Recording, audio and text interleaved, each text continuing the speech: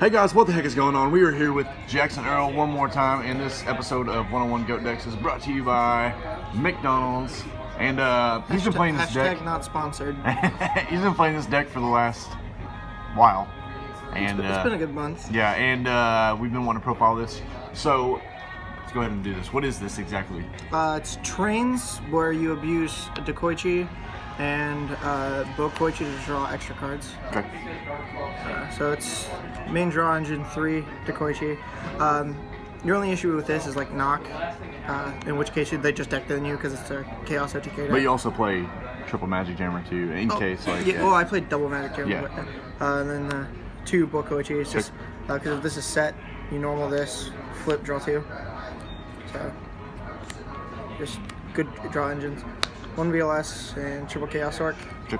Just standard stuff. One Parshath, triple Thunder Dragon, Breaker, DD Warrior Lady, double Tomato, uh, triple Shining Angel, one Tsuku, one Sangan, one Spirit Reaper, one Sinister Serpent, uh, Pot, Charity, Card Destruction, Upstart Goblin, Snatch Steal, Heavy, Giant Trunade, uh, Book, MST, Triple Jar of Greed, Double Sakuretsu Armor, and Double Magic Jammer.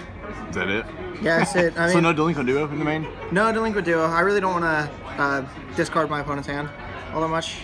Why is that? Uh, because by the time like they're at least getting anywhere near your your amount of resources, you're already killing them.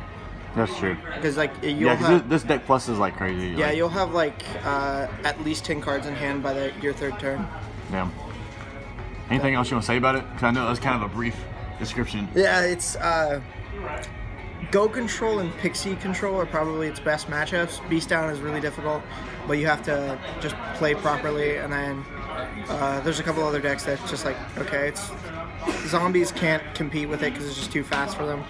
And even if they like get hit cards out of your deck, then you're just plussing off that anyway. So it's not really a big deal. And with, with the Bokoichi too, it's not like the theory behind it is like if it's on the field, when you activate Deko- Dekoichi, like even if that Bokoichi is used for like whatever, you know what I mean? You still you still got the card for it. So like it's- uh, I'll either discard it off a charity if it's like dead, or what's what I found actually is whenever I normal summon it, people will automatically assume the Dekoichi and just immediately activate TT, just to which clears Oh, one yeah. of the, it clears one of their board. maybe you have like a they don't- Sangan set or something. Yeah, like then they don't want to deal with the, the Yeah. thing. So It's a lot of mind games. yeah, it's, Heck yeah. it's really fun. What's the deck's biggest weakness?